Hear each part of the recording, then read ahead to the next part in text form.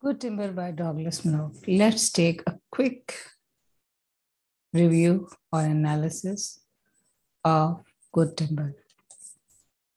Let's start. Let's check what is the first thing, first idea which we are going to discuss. The significance of the title of the poem. The title of the poem, Good Timber, holds significance with respect to the message of the poem. The poet has artfully compared good timber with good man. He believed that it is not easy for both timber and man to become good without going through hard times. It is bare fact that the more they suffer, the more they become worthwhile and beneficial for the society. So this is the significance of the title of the poem. When, on the other hand, if we talk about the central idea, in order to become good and beneficial, one has to face hardships and difficulties in life. Both timber and man have to overcome adversity with courage and determination. The struggle is a key to success to live a perfect, valuable life.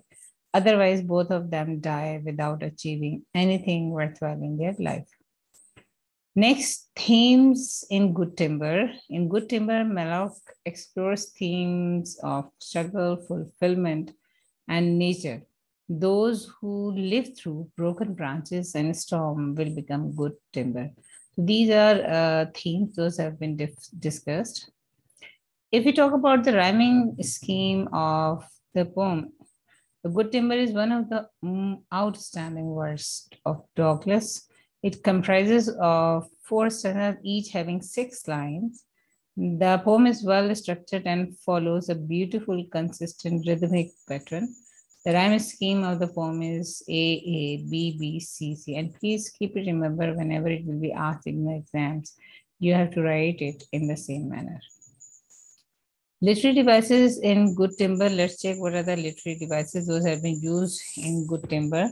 This entire poem is one extended metaphor comparing trees to human beings.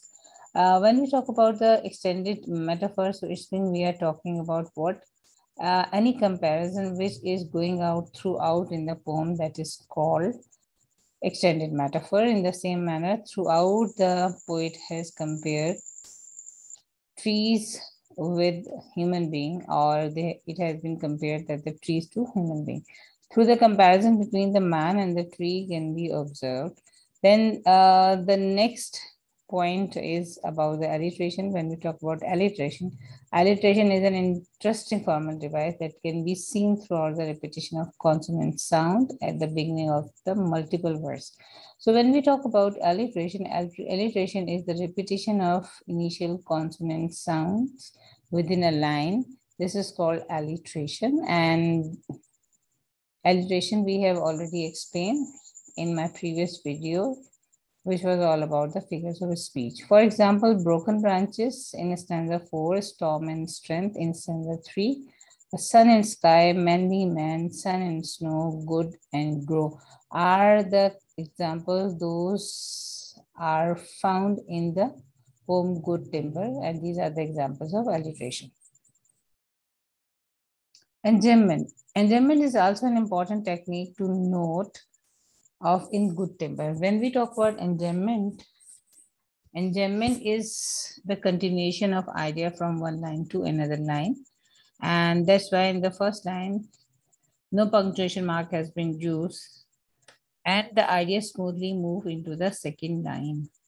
And again, enjambment has been explained in my last video related to figures of speech. Line one and two of the first stanza these are the example of what enjambment. Here, the tree that never had to fight, and after it, you can see there is no punctuation mark for sun and sky and air and light. Now here, yes, we can say uh, the comma has been marked. So this is the example of enjambment. Then the next example, the line number three and four of the second stanza, for instance, who never had to win his share. Again, you can see there is no there is no punctuation mark is here and the idea is smoothly. To win his share shares with what of sun and sky and light and air. There are multiple examples of enjambment. Those can be easily observed in good timber.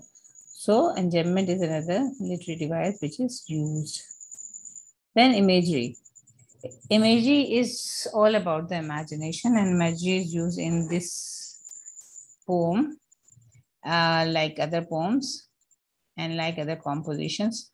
As far as um, imagery is concerned, there is another video of mine that is all about the imagery. If you have any sort of ambiguity regarding imagery, you can watch it.